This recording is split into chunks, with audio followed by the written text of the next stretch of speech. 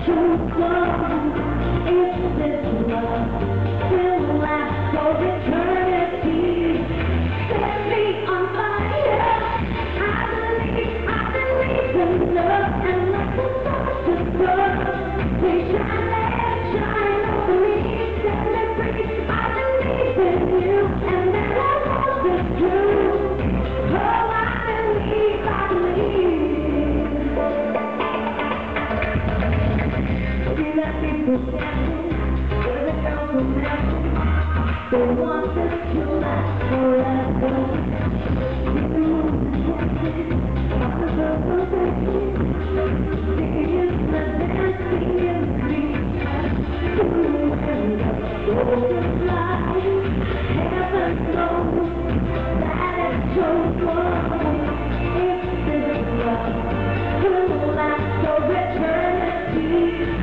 Stay on